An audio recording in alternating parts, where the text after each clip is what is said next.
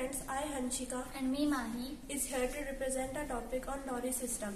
As we all know that in dowry system, bride parents give costly and luxury item to the groom parents. It is normally in Hindi called as Dahej. As the time changes, dowry still remain, but the people make it other meanings. Nowadays, dowry is becoming like a business for some caste. Dowry is becoming a burden for the bride family many times.